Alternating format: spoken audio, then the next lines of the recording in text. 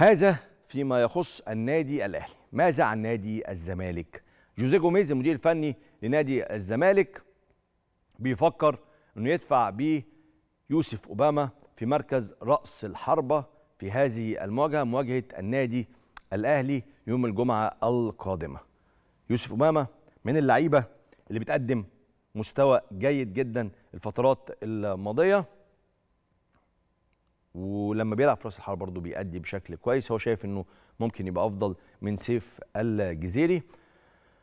وإن كان سيف الجزيري ما زال في الصورة ولكن هو بيفكر في أوباما عشان تحركاته الكتير داخل منطقة الجزاء وغالبا الزمالك هيشتغل على التحولات في هذه المواجهة. فشايف إن أوباما ممكن يكون له الأفضلية في هذه المباراة. ده بالنسبة ليوسف أوباما وهجوم نادي الزمالك. طيب المحاضرات الفنية اللي عملها جوميز مع لاعبي نادي الزمالك.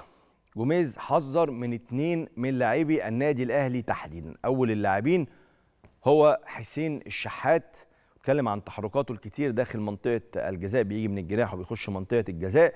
كمان حذر جدا من إمام عاشور ونشاطه الكبير في وسط الملعب. هو طلب من لاعبي نادي الزمالك إن هم ما يدوش فرصة ابدا لإمام عاشور إنه يسدد على المرمى ودايما يتم الضغط عليه. في نفس الوقت جوميز طلب من معاونيه تقرير شامل عن وسام أبو علي وموديست وكهربا عشان يبدأ يبني خطته الدفاعية لإيقافكم مع الثنائي الثنائي الهجومي على اليمين وعلى اليسار بالنسبة للنادي الأهلي.